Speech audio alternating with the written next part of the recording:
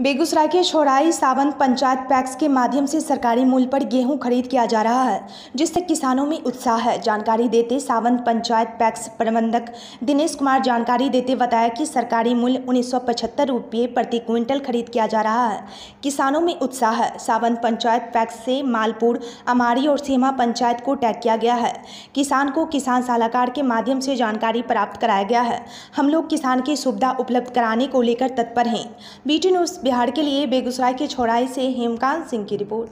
Tax एक किस किसानों से सरकारी क्रय उन्नीस सौ पचहत्तर के रेट से लिया जा रहा है। अभी हमारी से आज दो किसान को क्रय हुआ है। सावत पैक्स की किसान बहुत उत्साह है सरकारी रेट से। किस किस पंचायत का आपसे टैग है? सिहमा है अमारी है सावत है। मालपुर मालपुर।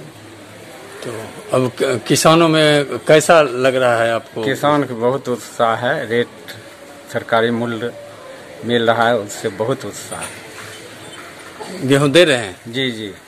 आपका नाम? दिनेश प्रसाद यादव प्रबंधक।